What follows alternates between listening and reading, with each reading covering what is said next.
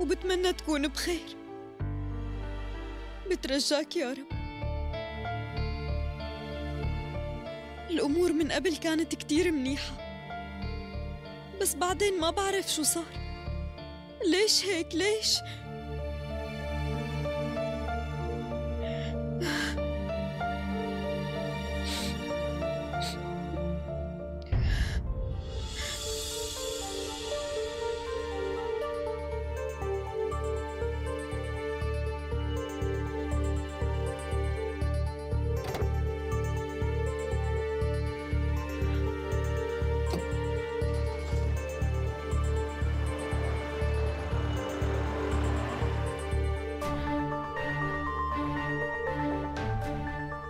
بهالوقت المتأخر.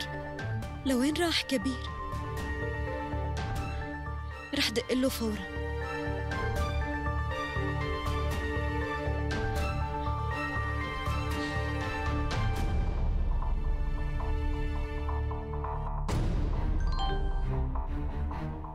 أنا بدي نام. نحكي مع بعض بكرة الصبح.